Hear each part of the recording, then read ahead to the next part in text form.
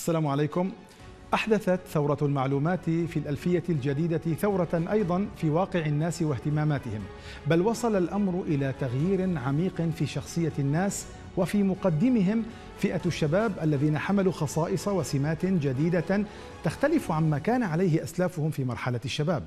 يستوي في ذلك الغربيون والشرقيون مع فارق الخصوصية المجتمعية.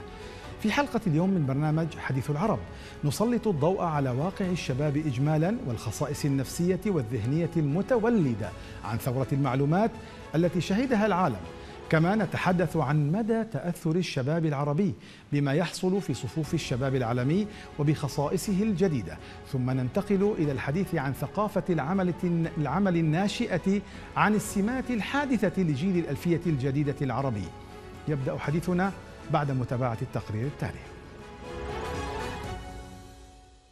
جزاته المعرفية والتكنولوجية تتواصل عملية تأثير وتأثر متبادلة إذ تتراكم المعرفة الإنسانية ويتقدم الإنسان ويخترع المزيد من الأدوات التكنولوجية التي بدورها تؤثر بقوة في أسلوب الحياة والتفكير والعمل للأجيال اللاحقة. ولعل ثورة المعلومات التي انطلقت بقوة مع بدايات القرن الجاري كان لها بالغ الأثر في إحداث ما يمكن وصفه بالثورة الأسلوبية في التفكير والعمل لدى الشباب في أنحاء العالم إذ تؤكد دراسات بحثية متخصصة أن شباب جيل الألفية لا يتعلقون كثيرا بالمؤسسات والتقاليد القديمة ولا يعملون فقط من أجل المال وإنما يرغبون في أن يكون لعملهم مغزى ولذلك فإن تحقيق الرضا الوظيفي لديهم لا يكون بتوفير بعض الخدمات الترفيهية من جانب المؤسسة وإنما يكون بتوفير الفرص التدريبية لتمكينهم من المزيد من النمو والتطور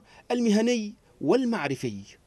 وبالنظر إلى الشباب العربي فإنهم بلا شك يمثلون شريحة لا تنفصل عن الشباب في أنحاء العالم غير أن أثر الثورة المعلوماتية في بيئة العمل العربية ربما سيكون أكبر من مثيله في مناطق أخرى في ظل ما تؤكده إحصائيات منتدى دافوس الاقتصادي العالمي من أن عدد الأشخاص في منطقة الشرق الأوسط الذين تتراوح أعمارهم ما بين 15 إلى 24 عاما يصل إلى ثلث عدد السكان بينما تبلغ النسبة العالمية أقل من 20% بحسب منظمة العمل الدولية. كل ذلك يعني أن السنوات القليلة القادمة ستشهد كثافة عالية من أعداد الشباب في المنطقة العربية بما يمثله ذلك من تحديات تنموية وسياسية لأنظمة الحكم التي لا تزال تفكر وفق منظومة الفكر التقليدي بينما سيكون الشباب أكثر ارتباطا بوسائل الاتصال والتكنولوجيا الحديثة. للحديث عن هذا الموضوع ينضم إلينا في الاستوديو الأستاذ أحمد مولانا الباحث في منتدى العاصمة للدراسات السياسية والمجتمعية. كما يشاركنا الحوار أيضا في الاستوديو الأستاذ عرابي عرابي الباحث في الفلسفة. أهلا بكما ضيفي الكريمين. نبدأ مع الأستاذ أحمد. يعني عندما نتحدث عن فئة الشباب عالميا على المستوى العالمي في أمريكا في أوروبا في الصين في اليابان في الهند إلى آخره هل ثمة اتفاق محدد عالمي على الفئة التي يمكن حصرها فئة الأعمار التي يمكن حصرها ضمن فئة الشباب؟ هل ثمة اتفاق على هذه الفئة بداية؟ يعني فيما بسم الله الرحمن الرحيم اولا مرحبا بحضرتك أستاذ عرابي يعني فيما يتعلق بقضية توصيف المرحلة العمرية لما يسمى بجيل الألفية تحديدا أو الأجيال اللي ولدت في عصر الثورة المعلوماتية يوجد يعني اختلاف.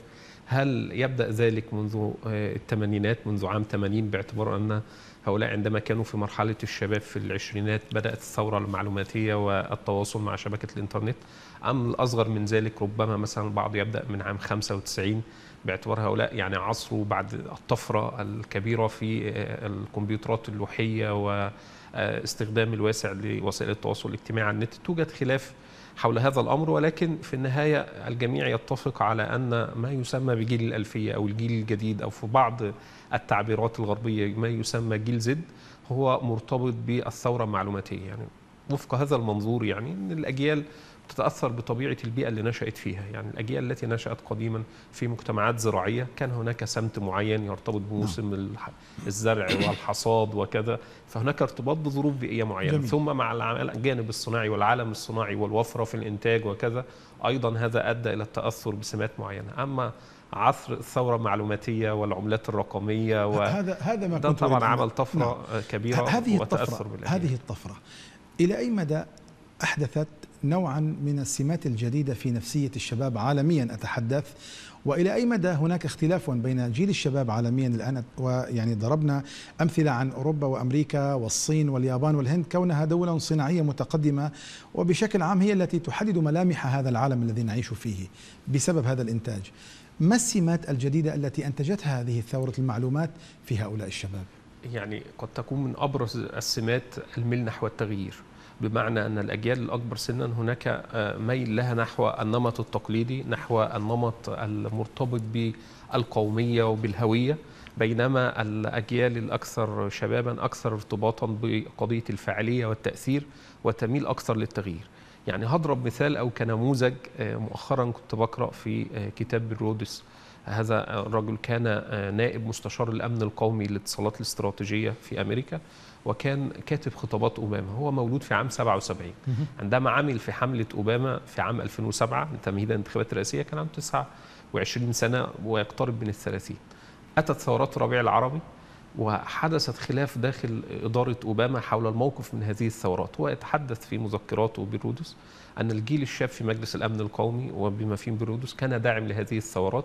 أن هذا الشباب الذي يتحرك في العالم العربي هو يهدف للتغيير لتحسين حياته لتطويرها. ينبغي أن نقف بجوارهم. في حين أن روبرت جيتس وزير الدفاع وجو بايدن نائب الرئيس وهيلاري كلينتون وزيرة الخارجية وكل ومولن رئيس هيئة الأركان المشتركة كل الفريق الأكبر سنا كان مع دعم مبارك ودعم الاستقرار وأنها توجد علاقات لنا بهؤلاء. أيضا عندما جاءت الثورة في سوريا نفس هذا الأمر كان موجود. فريق الشباب كان يضغط من أجل أن يكون هناك تدخل لكبح جماح بشار في حين أن كبار السن لكن أين غياب ف... أين غياب المصالح الاستراتيجية لأمريكا؟ هنا تقدم المسألة كما لو أنها فقط تمايز بين الجيل الشباب الأمريكي وجيل الجيل الشاب كان يرى أن مصالح أمريكا ستوجد مع الأجيال الجديدة من الشباب في العالم العربي.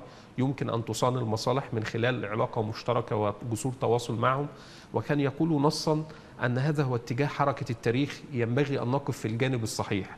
بينما الجيل الكبير كان يقول أنتم لا تفهمون شيئا ان مصالحنا مع هذه الأنظمة ينبغي أن نقدم الاستقرار على غير ذلك. ولذلك مركز زي راند وهو مرتبط بوزارة الدفاع الأمريكية. قام بعد كده بعمل دراسة ترجمت العربية عن الاستخبارات عن جيل الألفية واثره على الاستخبارات والإدارة الأمريكية.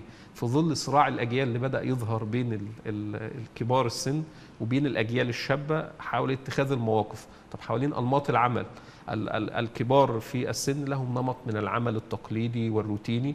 يعني الأجيال الأقدم تريد شيء تقوم بكتابة عريضة وخطاب وترفعه المسؤول الاجيال الاحدث تتعامل مع الواتساب ومع كذا. طبعا المخابرات الأمريكية من باب كيفية توظيف هؤلاء الشباب نعم. كعملاء ل... يعني كموظفين نعم. ولكي لا تفقدهم لصالح القطاع الخاص. نعم هو الدراسة عن هذه الأجيال داخل المؤسسة كيف. نتلافى الإشكال والصدامات في الرأي واختلاف النظرة للأمور بين كبار السن يا طبقة المديرين وبين الشباب؟ بالأخص أن بعد 10-15 سنة هؤلاء الشباب هيكونوا هم قيادة هذه المؤسسات. فبالتالي ميلهم نحو التغيير ورفض النمطية في العمل المؤسسي.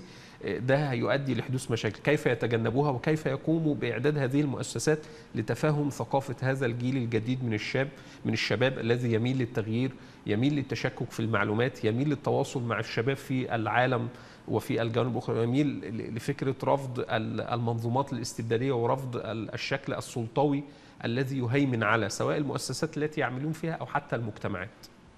يعني قضية الميل إلى التغيير ثمة بعد آخر من يتحدث عنه من بعض الخبراء في قضية الشباب الجديد. وهنا أسأل الأستاذ عرابي يعني ثمة من يقول بعض الدراسات تتحدث عن أن الجيل الجديد جيل الشباب الجديد في الدول الصناعية في الدول الكبرى صار أكثر فردية من ذي قبل. بمعنى أنه يعني ينظر إلى العالم من محور ذاته أنه يميل إلى تطوير قدراته إلى تطوير ذاته بمعزل عن الصالح العام، هل ترى الأمر على هذا النحو أن أم أن الصورة بالضد من ذلك؟ آه كل الشكر لكم الأستاذ أحمد. آه بداية هذا الملمح هذه النقطة يجب أن ننظر إليها من ملمح أكثر تفكيكية. آه الملمح هو أن دائما النسق الفكري الذي يبني الإنسان عليه ووجوده هو يعتمد إلى خبرات الجيل الذي آه، يعيش فيه إلى خبرات البيئة التي يعيش فيها آه، سواء هنا نظرنا إلى فكرة النسق بناء على رؤية جوستاف لوبون التحدي والاستجابة نعم. أو بناء على نظرية هيجل هي الجدلية التاريخية وتطور التاريخ بناء على التناقض الذي يبني نفسه بنفسه والتاريخ هو يطور من نفسه ثم يأتي تناقض آخر آه، إذا رأينا إلى الأجيال القديمة وفككنا الفجوات الجيلية التي تحدث بين جيل وآخر. سيظهر لدينا آه، أنماط عديدة آه، لكل جيل من الأجيال. مثلا هناك جيل ما بعد الحرب يكون أكثر مستنزف أكثر يميل يميل للأخذ بالتاريخ أكثر يميل للأخذ بأصوله الفكرية أكثر. طبعا الجيل الذي المخضرم ما بين قبل الحرب وما بعد الحرب. بينما الجيل الذي يندمج مع ثقافات ما بعد الحدث بين قوسين أو الجيل العصر الرقمي فنراه آه، في أنماط تعليمه مختلف في أنماط تفكيره مختلف آه، في أنماط آه، حياته اليومية هو مختلف كثيرا عن الأنماط التي سبق ذلك. أحد أهم أسباب أحد أهم مناطات أو مظاهر الاختلاف بين الجيل الحالي والجيل السابق هو أنه أخذ من بيئة هذا العصر بيئة هذا سمات هذا العصر هو أنه عصر سائل كثير يعني عصر سائل عصر سريع عصر يميل إلى محو الحدود وبنفس الوقت آه، محو المرجعيات آه، محو المرجعيات تبقى هناك مرجعية واحدة هي مرجعية الذات. المشكلة أن مرجعية الذات هي أو الفردانية بين قوسين هي تتشكل بما يطلب من هذا العصر. العصر هو يطلب من الناس الاستهلاك. إذا مرجعية الذات هي الذات الاستهلاكية. آه، هذه السمات نراها موجودة عند كثير من الناس ونراها حتى في وسائل التواصل الاجتماعي بدءا من ثقافة التقاط السيلفي ونشرها بين الناس والإعجاب ومحبة النفس ويعني آه، حب الظهور. وصولا إلى ما سماه ألان آه، دونو وهو نظام التفاهة أو انتشار التفاهة. هو يقول في نقطة مركزية في كتابه هذا المفكر الكندي يقول إن ان العالم ليس بحاجة إلى أو لا يقول كارلوس زفون في أحد في في رواية من رواياته يقول لسنا بحاجة إلى قنبلة نووية لكي تدمر العالم وإنما التافهون هم سيتكفلون بهذا بهذا الأمر. هذه الفكرة يبسطها ألاندونو في كتابه نظام التفاهة عندما يتحدث عن إن التفاهة تنتشر في في الأنظمة تنتشر في في وسائل في وسائل الإعلام تنتشر في آه، مفاصل القرار والمشكلة أن هذه التفاهة لا تقف عند حد بل تتوسع. كل التافهون يبنون شبكات من التفاهة وتصدر هذه التفاهة لتشكل وعي آه، الجيل الجديد. هذه ناحية مهمة يجب أن ننظر إليها في نظرتنا لسمات الشب المجتمعات الحالية أو المجتمعات ما بعد الرقمية وما بعد الرقمية. في النهاية هذه النقطة تحتاج إلى إلى توسع أكثر لكن نعم. هي ليست نقاط نهائية. بكل بكل تأكيد ليست نقاط نهائية لأن العالم ليس ليس مبنيا فقط على على مجرد أفكار تحكمه سياسات تحكمه برامج آه، دول تحكمه آه، يحكمه مسار الاقتصاد ومسار وكأن العالم الحالي لم يأخذ لونه النهائي بعد في حالة تغير دائم بسبب ثورة المعلومات آه، المتواصلة. يعني إذا ما بنينا على هذا الفكر موضوع يعني جيل بين قوسين التفاهة الذي ينتشر الآن في الغرب والشرق وتعميق مبدأ الذاتية ذاتية الإنسان وحبه لذاته وحب الظهور لأبني عليه سائلا الأستاذ أحمد هل التفاهة إذا ما أقررنا بها الذي يتحدث عنها عدد من الفلاسفة الغربيين التي تميز جيل الشباب الغربي الآن هل هذه التفاهة بالضرورة أنها آه، يعني آه، يعني بصحبة آه، انفتاح الحدود وتقلص التباينات الثقافية والهويتية بين المجتمعات؟ هل يعني أنها أزالت النظرية التفوق التقليدية عند الرجل الأبيض بأن الرجل الأبيض متفوق معذرة متفوق على الأمم الأخرى أم أن الأمر بخلاف ذلك وهو ما تكذبه صناديق الاقتراع التي تدفع باليمين المتطرف إلى سدة الحكم. نعم. آه، فيما يخص صناديق الاقتراع هاخذها كنقطة الانطلاق منها. كان في ملاحظتين مهمتين. ملاحظة آه، ترتبط باختيار أوباما آه، كرئيس لأمريكا كأول رئيس من أصول يعني سوداء وقضية خروج بريطانيا من الاتحاد الأوروبي. آه، أوباما نجح وكان متخيل أنه لن ينجح في ظل تحالف أقامه بين الشباب الأمريكي وبين يعني المواطنين الأمريكيين من أصول إفريقية. ولكن آه، تم اللعب على وتر ال ال اليمين والقومية وأن وتم خلال يعني دورتين من عهد التشكيك بانه يعادي أمريكا وكذا وكذا من وسائل الإعلام اليمينية. فجاء ترامب كرد فعل على آه، الاختيار الشبابي الذي تم لأوباما. في قضية آه، الخروج من الاتحاد الأوروبي التحليل لإحصائيات التصويت خاص ببريطانيا أن من اختاروا الخروج كانت الشرائح الأكبر في كبار السن. باعتبار أن نحافظ على بريطانيا والملكية البريطانية وإرث تشرشل وكذا وأن الانخراط في الاتحاد الأوروبي يذيب الهوية البريطانية ويضر بالمصالح البريطانية. في حين أن الأجيال الشابة كانت أكثر تصويتا آه، باتجاه البقاء في الاتحاد الأوروبي. فهنا نلاحظ أن آه، في بريطانيا وفي أمريكا أن الجيل الشاب كان مع خيار التغيير في أمريكا وكان مع خيار مزيد من الاندماج مع الدول الأخرى في أوروبا. في حين أن الأوساط اليمينية والأكبر سنا كانوا مع الخيارات الأكثر قومية والأكثر يمينية. فهنا هذا قد يعني قد يدل أن الاتجاهات الشبابية أو توجهات الشباب نحو الميول الأكثر آه، إنسانوية. البعيدة عن نظرية الدولة القومية وتفوق العرق الغربي والنظريات العنصرية لصالح ثقافة يعني قد تكون ثقافة لكن إنسانية لكن أكثر اشتراكا. لكن ترامب يعني كثير من داعمي دونالد ترامب اليميني كانوا من فئة الشباب. وكان يقوم في خطابه متوجه يتوجه في خطابه لفئة الشباب. وهذا ربما يعني بشكل أو بآخر ان أن الشباب الأمريكي بين قوسين ليس ليس بريئا من تبعة العنصرية والانغلاق على الذات. يعني يعني هذا إحنا هنقارن واقع المجتمع بماضيه وبتاريخه. علما أن هناك حتى الآن من يشكك بفوز يعني جو بايدن على آه، دونالد نعم ترامب. إحنا هنا هنقارن هذا الواقع بواقع المجتمع الأمريكي يعني بواقع المجتمع الأمريكي الذي كان أكثر عنصرية الذي كان يرفض للسود أن يدخلهم عديد من المحلات أو أن يجلسوا في وسائل المواصلات بينما هناك أبيض أو كذا. وكان فكرة أن يأتي أسود ليمسك آه، يتولى رئاسة أمريكا هذا كان يعني آه، محظور تابو يعني. حتى حاليا وزير الدفاع الحالي من هذه الأصول قبل ذلك كونديليزا رايس كوزيرة خارجية كمستشارة أمن قومي فهناك تغير في هذه الثقافة الجيلية التي يعني في مرحلة من مراحل في القرن 19 أدت لاندلاع حرب أهلية أحد معطيات الحرب الأهلية كانت هذا الصراع حول تحرير العبيد وغيره. فأقصد أن كلما زاد زادت يعني التطوير نعم.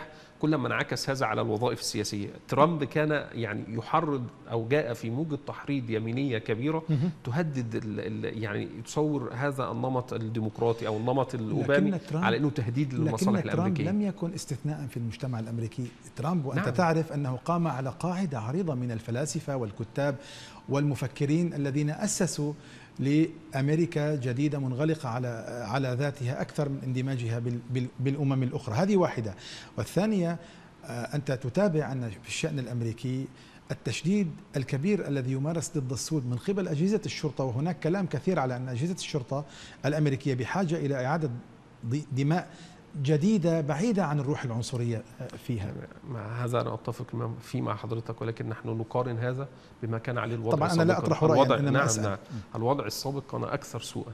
إنما كلما زادت الأجيال الشابة يعني مثلا في حادثة فلويد عندما قتل فلويد رأينا احتجاجات في أماكن كثيرة جدا في الولايات المتحدة ولم تقتصر على السود فقط. فهنا ثقافة الأجيال الجديدة هي أقل عنصرية من الأجيال الأقدم. الأجيال الأقدم أكثر تمسكا بالقومية أكثر تمسكا بالعنصريه لذلك حتى في أوساط مؤيدي ترامب و, و, ومؤيدي خروج بريطانيا من الاتحاد الأوروبي كان هذا في الشرائح الأكبر سنا أكثر من الأقل سنا.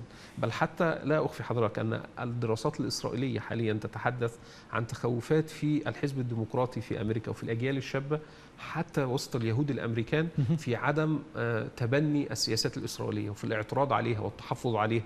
حتى أن آه، ديفيد فريدمان السفير الأمريكي السابق في إسرائيل وهو يعني صهيوني التوجه نشر مذكراته مؤخرا في عام 2022 بيتحدث عن بعض المؤسسات اليهودية في أمريكا ويصفها أنها معادية لإسرائيل وأنها كذا وأنها تتبنى أجندة اليسار وأن نعم. وأن الأجيال هذه لا تدرك المصالح وكذا فهناك حتى في الوسط اليهودي الأمريكي هناك الاتجاه الأكثر صهيونية يهاجم طيب. الاتجاهات الشبابية التي تقول الفلسطينيين يتعرضون لمظالم لابد أن تكون لهم حقوق هناك حقوق إنسان لابد من احترامها. فهذا الانحياز ظاهرة يعني تزداد بمرور الوقت لم تكن بهذا الشكل. كان الحزبين الديمقراطي والجمهوري موالين لأمريكا بل كان الديمقراطي أكثر ولاء آسف لإسرائيل حاليا هناك شكوى كبيرة جدا من حدوث تغير في هذه التوجهات نعم. ترتبط بالتغيرات الجيلية داخل الأجيال الجديدة آه، طيب. من الشباب الأمريكي. واضح ان أن أحمد يتبنى مقاربة تقوم على التغيير الإيجابي الذي أحدثته وسائل آه، ثورة المعلومات في العالم لصالح آه، الشباب الغربي وألمح منك من جوابك الأول أنك ربما على الضد منه بشكل أو بآخر وربما هذا يغني الحلقة حقيقة مشكلة الصراع الحضاري التي طرحها صامويل هانتيكتون المفكر السياسي الأمريكي المعروف ونهاية التاريخ نظيره أيضا الأمريكي فرانسيس فوكوياما. هل ترى أن الآن هذا الانفتاح يعني خفف من غلواء نهاية التاريخ وقضية الصراع الحضاري في الجيل الغربي الجديد وتحديدا الأمريكي والأوروبي لصالح مبادئ السلام والتعايش والانفتاح على الآخر كما ذكر الأستاذ أحمد؟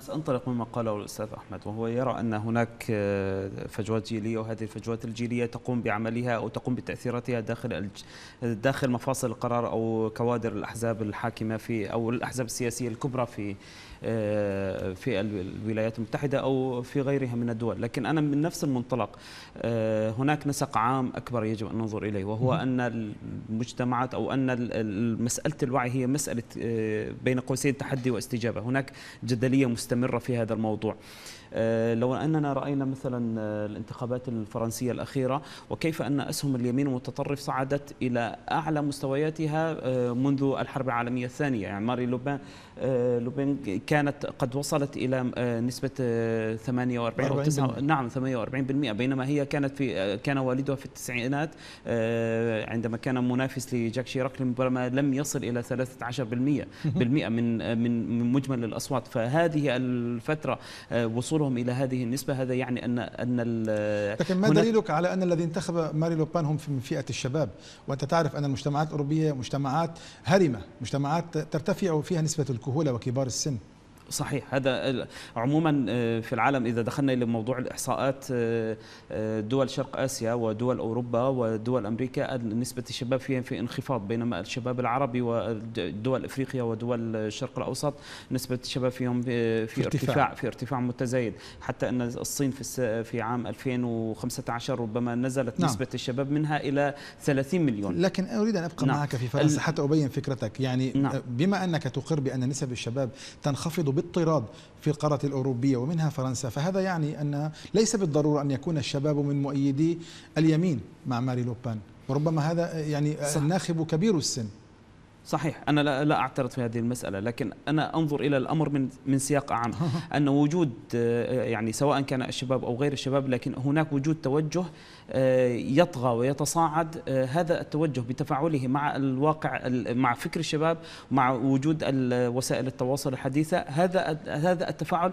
سيؤدي بنتيجة ما سيؤدي إما لانحسار آه، أفكار اليسار تدعيم بعض عناصر يعني عناصر الفكر المتطرف أو على الأقل رسم الحدود الواضحة. ربما لا يكون هناك زيادة في نسبة التوجه نحو الليبراليه أو نحو محو الذات. حتى أو حتى يعني فكرة السيطرة الغربية على على الآخر هي فكرة مركزية. فكرة هي فكرة مركزية تطبع النسق الغربي. جينية. نعم هي هي أصلا يعني حتى إذا رأينا آه، إلى الآن في في المناهج الغربية عندما يدرسون الفلسفة هم ينطلقون من آه، مركزية الفلسفه اليونانية ثم بعد ذلك يمرون سريعا على الفلسفة الإسلامية وكيف هي نقلت هذه المراحل هو يجعلونها فقط قناة نقل. ثم بعد ذلك يظهر الاوروبي الأوروبي مرة أخرى عبر ديكارت ثم بعد ذلك سلسلة آه، فلاسفة النهضة وعصر الأنوار ثم بعد ذلك آه، سلسلة الحداثة وما بعد الحداثة. لا يكادون يتعرضون إلا بالنادر للتيارات الفكرية الأخرى. فهم أصلا يغرسون في أفكارهم وأبنائهم ومناهجهم يغرسون فكرة التميز الأوروبي أو المركزية الغربية وفوق ذلك يعني انتقلنا من مركزية الغرب إلى مركزية الذات والذات هي أصلا ناشئة في في إطار أوروبي أو في في إطار نسق فكري غربي فهي أيضا تتمركز مركز الذات الغربية على ذاتها هي وتريد محو العالم لكي تكون شبيهة بها بطريق العولمة. يعني قبل أن نذهب إلى الفاصل يعني ألخص فكرتك في في المحور الأول الذي كان هو محورا تمهيديا قبل الانتقال إلى بعد الفاصل إلى لب الموضوع والحديث عن الشباب آه، العربي بأن ثورة المعلومات غيرت الشباب الشباب الغربي لكن نحو التفاهه من دون أن تغير خصائصه الجينية التي تميل إلى الفوقية وحكم العالم ومركزية الرجل الأبيض، هل هذا صحيح؟ نعم هذا ما ما ما أرمي إليه وهذا يعني ما ما هو مشاهد في الحقيقة. وأنت على الضد في ذلك ربما مع الأستاذ أحمد نعم. يعني هناك أوجه نعم. تلاقي يعني طيب يعني ليست ضديه نعم بعد بعد الفاصل نتحدث عن مدى تأثر الشباب العربي بثورة المعلومات التي أحدثت تغييرا في صفوف الشباب العالمي نبحث هذا بعد وقفة قصيرة فلا تذهبوا بعيدا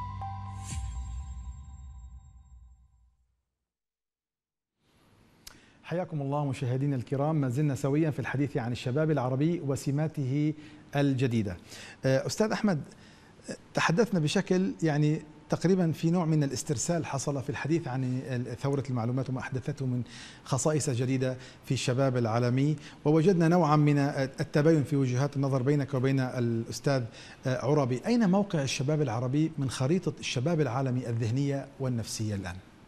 بطبيعه الحال يعني هناك أوجه تقاطع وهناك أوجه افتراق لاختلاف أوضاع المجتمعات. يعني من أوجه التقاطع هي آه، آه، يعني التشكك في المعلومات وطلب الأدلة والقرائن عليها. عند الشباب العربي أيضا. عند آه كظاهرة عالمية وبالأخص عند الشباب العربي. يعني فيما مضى حضرتك مثلا في آه، عهد المذياع على سبيل المثال لما بقى في راديو كان هناك قدرة مثلا نظام زي هتلر إنه يخاطب ملايين الناس ويزع فيهم أفكار معينة بدون ما يكون في تلقي أو ردود فعل من جانب المتلقين. وهذا نركز على الجانب العربي نعم وكذلك الأمر بعد التلفاز لكن هذه كظاهره عالمية. بعد وسائل التواصل الاجتماعي أصبح هناك في آه، يعني تلاقي ورد فعل. اليوم الشباب في العالم العربي على مواقع التواصل الاجتماعي عندما الشخص يقول رأيه أو يطرح رأيه تجد تعليقات تعليقات تؤيد تعليقات تعترض تعليقات تطلب دليل. فأصبحت مساحة الامتزاج والتداخل والنشاق والنقاش أعمق. أنا أتذكر يعني عندما كنت صغيرا في التسعينات أسمع السياسة بين السائل والمجيب في البي بي سي. عندما أريد ان أن أتعرف على قضية معينة أنتظر معرض الكتاب مرة يعقد مرة في العام كي أشتري بعض الكتب أو تكتب جواب إلى البي بي سي تسأل ما الحزب الفلاني ما تاريخ كذا؟ فيجيبك أظن حسام السكري في السياسة بين السائل والمجيب. اليوم أنت على وسائل التواصل الاجتماعي مع أي باحث أو كاتب أو شخصية عامة يمكن أن تدخل اليه إلى حسابه وتناقشه وتطلب منه دليل. فكرة طلب الأدلة وطلب البرهان والتشكك في المعلومات أصبحت ظاهرة تتنامى. حتى في أوساط المؤسسات الإعلامية والمراكز البحثية هناك خلال الأعوام الأخيرة ما يسمى بظاهرة آه، يعني آه، تفنيد المعلومات أو آه، التحقق من صحة المعلومات. هذه لم تكن موجودة بهذا الشكل سابقا. اليوم هناك العديد من الوكالات والمواقع. لأن هذه أصبحت ظاهرة موجودة. فكرة يعني في الأجيال القديمة كان يقول هذا هذا حدث أنا أصدقه. لقد جاء في التلفزيون. كأن هذا يعني إيه؟ قمة لم يعد هذا لكن موجودا. ربما, ربما أنت تتحدث عن نخبة من الشباب وليس عن حالة عامة. يعني الشباب العربي هناك كثير من ينتقد الشباب العربي بأنه يقضي وقته في المسائل الترفيهية في مسائل البحث عن الطرف الآخر إلى آخره وليست في مسائل علمية يعني تنمي العقل وتنمي قدرة محاكاة. يعني, يعني على الأقل بطبيعة الحال كل مجتمع فيه تنوعات. فمن يهتم بالجانب العام عن السمة العامة. نعم بالجانب العام والجانب السياسي أصبحت هناك قدرة على التواصل والتقاطع والاهتمام. طيب من يهتم حتى بالأشياء التافهة والأشياء يعني التي لا قيمة لها؟ أيضا أصبح امامه مساحة للتواصل والتداخل والاطلاع على الخصوصيات لم تكن موجودة في الأجيال السابقة، اليوم أي فنانة تقوم بنشر أنها عندما استيقظت من اليوم قامت بكذا وهو يعلق عندها كذا، بل ربما توجد نوع من أنواع الصداقات تتشكل من خلال هذه الوسائل، حتى يعني في ظاهرة ال ال يعني الأبعاد الاجتماعية الزواج. كان الناس يتعارفون بشكل تقليدي من خلال المعارف الأسرية من خلال أنماط العمل. اليوم نجد هناك حالات زواج تتشكل من خلال صداقات نعم. على الفيسبوك أو التعارف من خلالها. نعم. بل حتى هناك مجموعات وهناك صفح مخصصة لهذا الأمر. فما اقصده أن مساحات النخب المه... نعم. النخب المهمة والتي تصنع التغيير. فيما يخص هذه النخب النخب القدرة على توصيل رسالتها. والانفتاح على عدد أكبر من الجماهير أصبح أكبر وأصبحت أكثر تاثيرا. اليوم يعني في من 20 سنة فكرة صناعة فضائية قناة فضائية كان أمر حكر على آه، يعني مجموعات محدوده فقط كانت هذا يخص الدول في عالمنا العربي. اليوم آه، يمكن لفرد على اليوتيوب أن يقوم بعمل برنامج يشاهده ملايين الناس أكثر من الفضائيات طيب. فهنا القدرة على تلقي المعلومات التشكك فيها سماع وجهات نظر متفاوتة نعم. حتى وإن كان هذا فيه اشكالات مشاكل أو كان لكنه يساهم في تطوير حالة النقاش السياسي والجدل وفي ظني أنه يساهم بمرور الوقت في آه، رفع مساحة الوعي طيب. لم تكن الأجيال السابقة آه، يعني أكثر وعيا وأكثر كذا ثم حصل انخفاض يعني ظن هذه المساحة يمكن استثمارها البعض يحاول دفعها نعم. للاتجاهات الأكثر كما يقول أستاذنا عرابي الأكثر تفاهة والأكثر كذا ولكن هذه مساحة تدافع متاحة لي وللاخرين حتى هذه النقطة التي تحدثت عنها وأنا طبعا أنا لا أخالفك على طول الخط وانما نعم. دائما أحاول أن أنقل وجهات النظر الأخرى حتى تستبين الفكرة يعني هذا ربما من ينقد هذا الكلام من باب أن الشعوب العربية ربما تدغدغها العاطفة وهذا يتعارض مع الوعي بدليل أن دولة مثل تونس الآن جاءها رئيس خاطب بالروحانيات فجرى انتخابه وحظي بشعبية كبيرة الآن يتحول المشهد إلى حكم اوتقراطي حكم شمولي. هنا أنتقل لأسأل الأستاذ عرابي يعني إلى أي مدى تسربت السمات العامة للشباب العالمي التي تحدثنا عنها في الفاصل الأول إلى الشباب العربي ودعني أقول لك هل ما تحدثت عنه في مسألة التفاهة التي انتشرت في الشباب الغربي اليوم هل ينطبق الأمر ذاته على الشباب العربي؟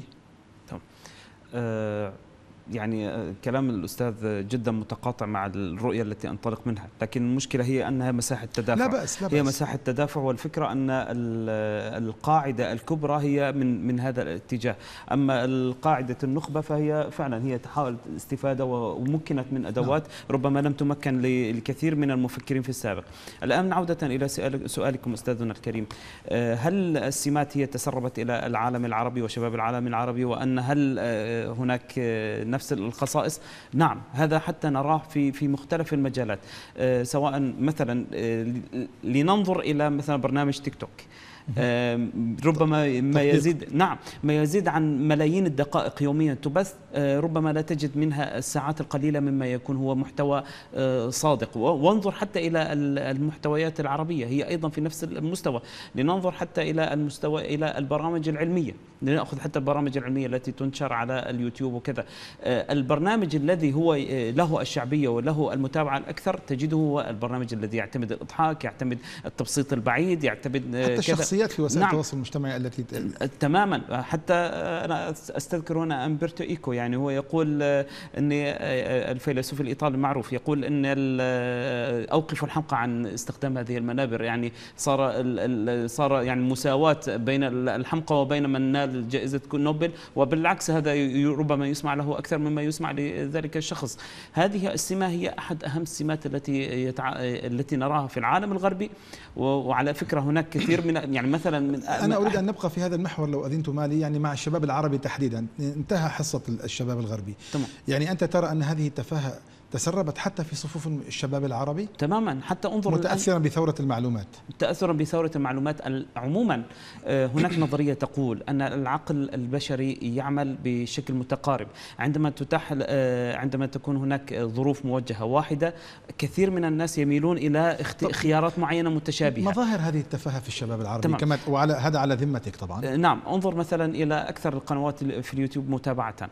مثلا عندما يكون هناك القنوات اليوم اليوميات ما صار يعرف باسم قنوات اليوميات إنسان يعرض حياته اليومية هو وزوجته انظروا كيف أكلنا انظروا كيف شربنا انظروا كيف كشفت عن جنين الولد أو كذا إلى آخره وتصرف في ذلك الأموال الطائلة. لكن ثم المجتمع العربي مجتمع يعني يعني معبأ بالمآسي والأحزان. ربما من يقول لك بأنه لا بأس بأن يرفه عن نفسه ويطلع على حياة ويوميات الناس من باب الترفيه. فماذا يمكن أن يقال جوابا على هذا الاعتراض؟ تماما هي صناعة الترفيه هي صناعة موجهة للناس آه، وعموم الناس هم يميلون للترفيه.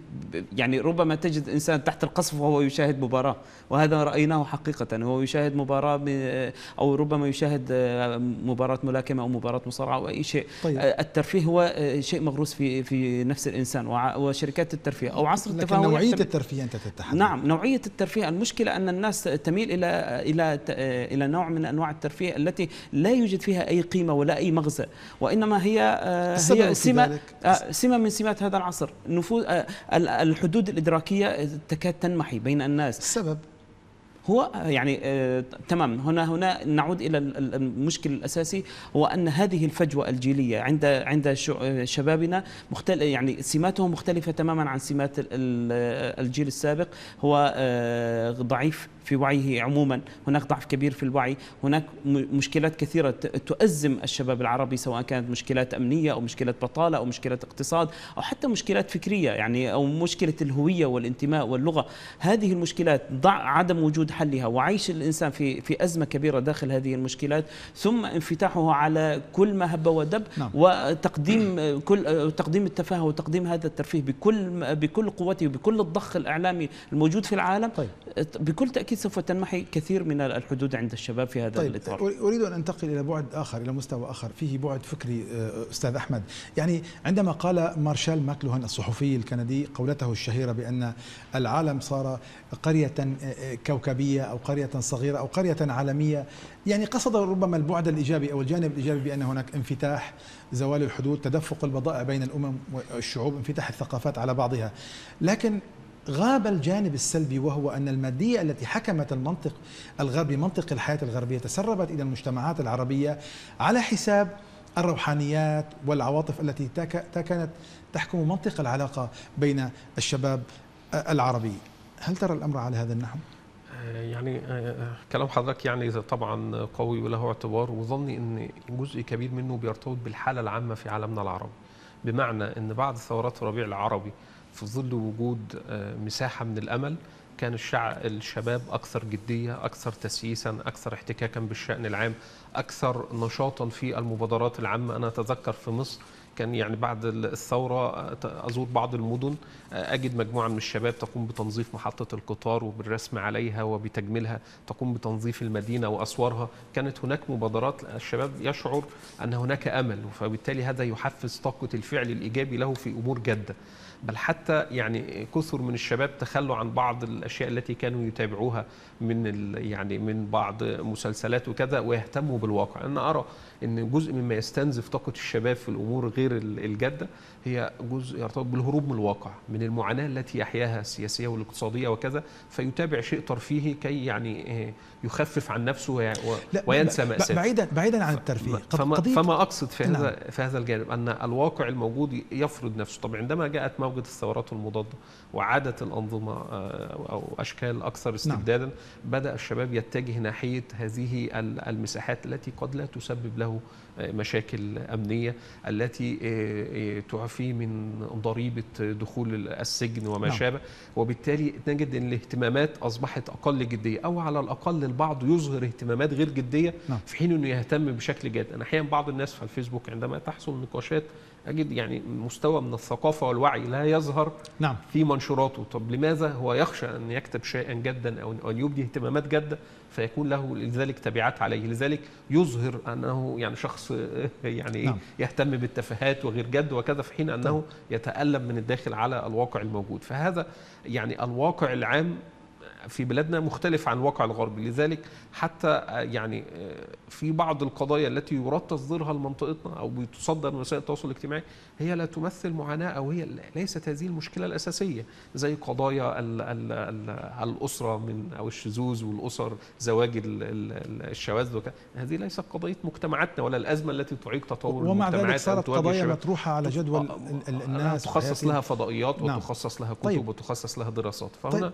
طيب طبعا. يعني هو لضيق الوقت يعني أنا مضطر أن تفضل. أطلب من ضيفي الكريمين أن نحاول أن نجمل الإجابة في قضية ننتقل إلى موضوع الحديث عن ثقافة العمل لدى شبابنا الشباب العربي في في وقتنا هذا في الدولة الريعية كما هو معلوم لديكما أن كانت الدولة تتكفل بتوظيف المجتمع فيما كان يسمى البطالة المقنعة. لذلك كان الشباب يتزاحمون على الوظائف الحكومية بحثا عن الأمان الوظيفي والأمان المعيشي.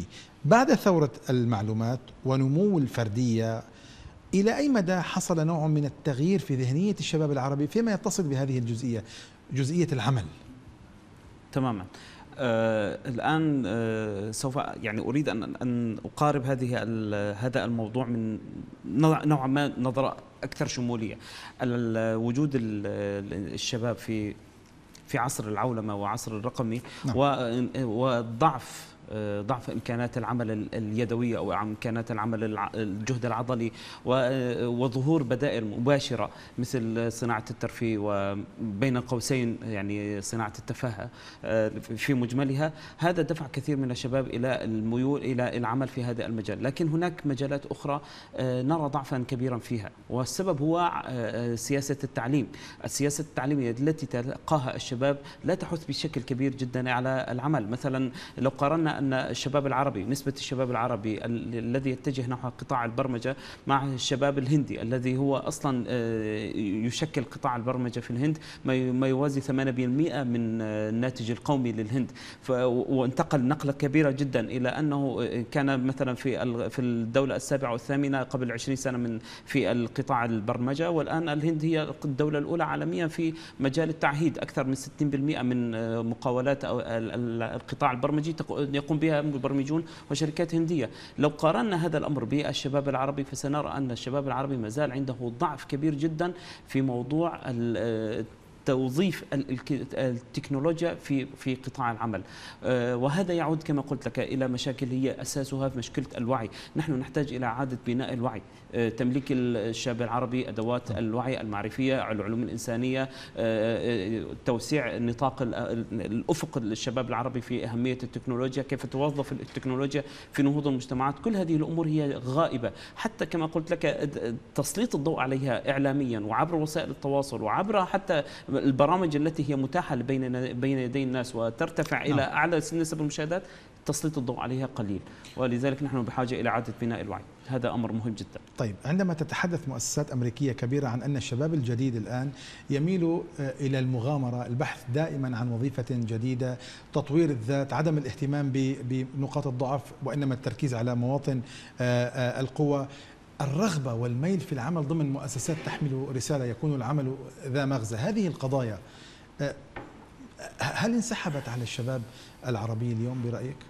بشكل جزئي حسب كل دولة وطبيعة الواقع الموجود فيها بمعنى أن الدول التي فيها منظومة منفتحة وحرة تسمح بهذه الصفات أن تكون موجودة بينما في الدول المنغلقة التي يعني تحكمها أنظمة استبدادية آه، يعني هذا يقتل الكفاءات ويقتل الإبداع ويقتل حس المبادرة. بل نجد فيها أن أغلب الشباب يميل إلى الهجرة إلى الدول الغربية وإلى أوروبا وإلى ترك بلده حتى بركوب البحر المتوسط والتعرض إلى مغامرة لأنه لا يجد أمل أو فرصة آه، واعدة في بلده. فبالتالي البلاد التي يعني تحكم هذه المنظومات شبابها يفكر في الهجرة وتزداد هذه الظاهرة. طيب البلاد التي يعني فيها نوع من الانفتاح السياسي؟ عربيا. نعم كعربية ربما توجد فيها مثل هذه مثل؟ يعني هل في دول عربية منفتحة سياسيا؟ يعني توجد بنسبة من النسب. يعني ممكن مثل؟ تتفاوت تتفاوت الأمور. مثل؟ آه يعني أنا لو في الأمر في تفكير، هتكلم نعم. في الأسوأ هتكلم مثلا آه، سوريا مصر العراق. سوريا؟ هذه نعم فيها استبداد يعني قصدي آه. هذا أسوأ وضع الشباب يفكر عن في الهجرة. الانفتاح السياسي. ال ال الانفتاح ال ال ال يعني النسبي ربما كان في مرحلة من المراحل في تونس قبل التغير الموجود. كان هناك يعني نوع من أنواع لكن هي الاستقرار. مرحلة بسيطة لا يبنى نعم. عليها. نعم. يعني أنا نعم، أتحدث هي حاجة عابرة لأن أنا أتحدث نعم. عن المزاج آه، الجديد. نعم. يعني في أمريكا مثلا في أوروبا في الصين تجد شبابا متوثبا يبحث عن عن الفرص العمل الجديدة يبحث عن المغامرة يرفض أن يربط نفسه بوظيفة آه، تؤطر حياته كلها. هذا إلى أي مدى يمكن أن نجده في صفوف الشباب العربي أم أن ال- النظام السياسي العام هو الذي يحكم منطق التفكير عند الشباب في هذا في ثقافة العمل يعني؟ هو النظام السياسي بيوجد بيئة هي تقتل تقتل هذه الفرص. يعني عندما يفكر الإنسان في القيام بعمل استثمار وشركة وكذا وكذا ويفكر أن ينتقل لها ثم فجأة يتم إغلاق هذه الشركة ومصادرة أموالها أو القبض على صاحبها. فهذا عندما ترى هذه الحالة تتكرر مرة وعشرين ومئتين وألف لا تفكر أن أن تترك وظيفة أنت فيها لاتجاه آخر.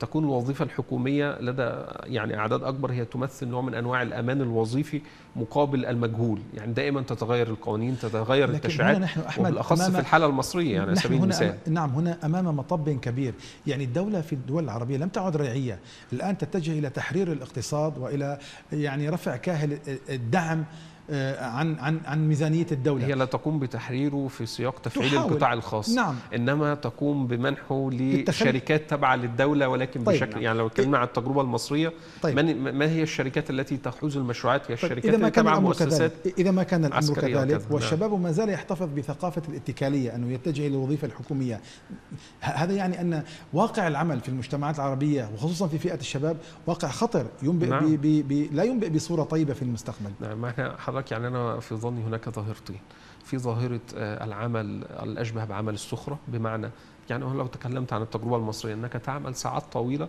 بأجر منخفض يعني بالأمس يعني قرأت أن هناك استقالات متزايدة في الشرطة الإسرائيلية بسبب تدني الرواتب نعم. ما هو الراتب المتدني 6700 شيكل في الشهر يعني قرابة ما يزيد على 2000 دولار أو قرابة ال 2000 دولار. فيتركوه. هذا المبلغ خرافي بالنسبة لمصر. عندما يعمل طبيب مقابل 2000 جنيه أو 3000 جنيه فهذا أنت تطلب طيب. منه يعني عمل كبير بمقابل قليل. هذا يقتل فيه الرغبة في التنقل ولا يجد الفرص. لذلك نجد هجرة اتجاه الغرب للعمل في صارت الأماكن الغربية. هذا يعني هذا, هذا صارت الفكرة الواضحة. أرجو نعم. معذرة أستاذ أحمد. يعني أدركنا الوقت أختم مع الأستاذ عرابي. يعني الآن كانت مقولة في الوطن العربي كانت مقولة التعليم الجامعي يطعم خبزا ويؤمن عيشا وبراتب آه، مرموق. ربما الآن لم تعد لها قيمة بدليل ما نشاهده من كثير من الشباب المتعلم الجامعي الذي يمتهن حرفة يدوية. هل يمكن القول أن المجتمعات العربية تعود إلى الوراء فيما يتعلق بثقافة العمل بمعنى العودة إلى الحرف اليدوية والمهن اليدوية مع التعلم؟ ربما هذه الظاهرة هي دليل على فشل سياسة التعليم أكثر مما كونها أن الناس يفضلون العودة إلى سياسة الحرف اليدوية. آه، سياسات التعليم عندنا لا تربط العمل والمناهج التعليمية بأسواق العمل إنما هي تجعل تعطيهم مناهج نظرية وبعد ذلك تتركهم اذهبوا ودبروا رؤوسكم يعني في النهاية هذا هي سياسة آه، الدول الع- العربية. ولذلك الناس الذين لا يمتلكون آه، أدوات التكنولوجيا أو أدوات أو علاقات تمكنهم من إيجاد فرص عمل معينة هم سيبقون آه، إما في إطار آه، الوظائف وإما في إطار العمل آه، البدني الجهد البدني وإما في إطار أن يذهب ويبدأ بتطوير مهاراته ويدخل في القطاعات الناشئة مثل قطاعات صناعة لكن حتى. الاتجاه إلى إلى المهن اليدوية يعكس نوعا من من من الفكر الإيجابي لدى الشباب بأنه يقدم على شيء صحيح يعني صحيح أنا حتى ربما أذكر مثالا هناك أستاذ كان لديه شهادة دكتوراه ورسالته كانت مطبوعة وكذا آه، جاء أحد الباحثين فسال عنه فدلوه إليه فذهب ووجده يعمل في مغسلة سيارات. ورسالة الدكتوراه جدا مهمة في في آه، حقل من الحقول ال- الفكرية. على كل حال هذا الأمر هو يغرس آه، ثقافة ثقافة إيجابية ولكن هل هذا هو ما ينتظر من نخبة أكاديمية أو ينتظر من آه، إنسان تلقى علم جامعي أو شهادة جامعية مرموقة هل هذا هو المنتظر منه أن يذهب ويعمل أي عمل؟ لا ليس هذا المنتظر المنتظر أن يطور من أدواته أن بداية أن يطور الإنسان من أدواته وقبل ذلك أن تكون مناهج التعليم تربط التعليم دائما بأسواق العمل. ولا يلام هو في ذلك وإنما الإطار العام للدولة نعم. والمجتمع. أشكركما شكرا جزيلا. ختاما مشاهدي الكرام أشكر ضيفي الكريمين أحمد مولانا الباحث في منتدى العاصمة للدراسات السياسية والمجتمعية وعرابي عرابي الباحث في الفلسفة كان معي في الاستوديو والشكر الأكبر موصول لحضراتكم على كرم المتابعة في حراسة الله.